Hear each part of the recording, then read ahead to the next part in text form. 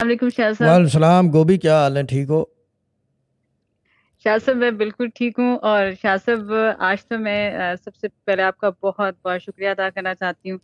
क्योंकि जब भी मैं टेस्ट मैंने देती हूँ ना मुझे अपना वो दिन याद आता है जब मैं बात भी नहीं कर सकती थी और मैं चल भी नहीं सकती थी। जब जब मैं टेस्ट मैंने देती हूँ मेरी आँखों में आँसू भी आते हैं आँसू उंसू को दफ़ा मारे टेस्टमोनी दे दे। यानी कि आँसू उंसू को डिलीट कर दे इस सेंटेंस इस प्लेटफॉर्म की वजह से मैं आज इस काबिल हो गई हूँ कि आज मैं हर हफ़्ते टेस्ट मैंने देने के काबिल हो गई माशाल्लाह दैट्स गुड और जी शाह साहब मैंने आपको बताया था लास्ट वीक की मुझे एक यूनिवर्सिटी ने लाहौर बुलाया था फैमिली काउंसलिंग पर लेक्चर देने के लिए।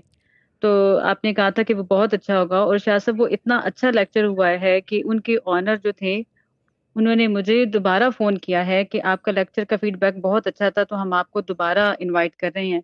और जो।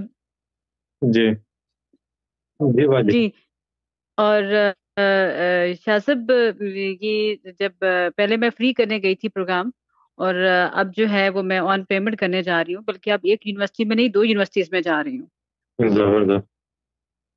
जी और ये सब मरीज़ दम और शाह साहब की दुआ की वजह से है। और दूसरा ये है कि मैं ये चाहती हूँ कि मेरा जो अगले दो लेक्चर्स हैं वो बहुत अच्छे हों ताकि मेरा जो पहला इमेज है वो बरकरार रहे।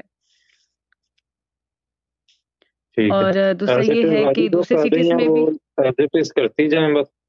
जी जी बोलें दूसरे सिटीज़ में? जी जी अभी है अब अभी दूसरी दूसरी टेस्टमनी ये है कि दूसरी सिटीज़ की यूनिवर्सिटीज ने भी मेरे साथ अप्रोच किया है और टीवी चैनल वाले भी मुझे अप्रोच कर रहे हैं पर्दा इंटरव्यू के लिए।